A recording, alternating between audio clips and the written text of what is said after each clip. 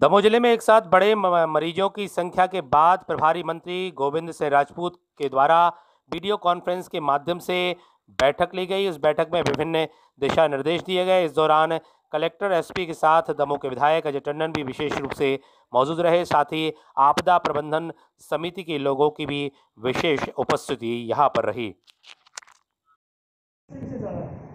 तो हम लोगों की डेथ फर्टेलिटी जो है सेकेंड में बहुत ज़्यादा हुआ है। ये सबसे ज़्यादा केस दमोह में आ रहे हैं। और ये बहुत ही चिंता का विषय है। जब भी कैबिनेट हो तो कल ही मंत्री ने वो चिंता व्यक्त पर दमोह में बहुत ज़्यादा है। आज की कोई संख्या तीस केस है। है उन्नीस अच्छा जो केस है इनकी स्थिति क्या है? सभी असिम्टोमेटिक है किसी को कोई सिम्टम नहीं है सब लोग स्वस्थ है।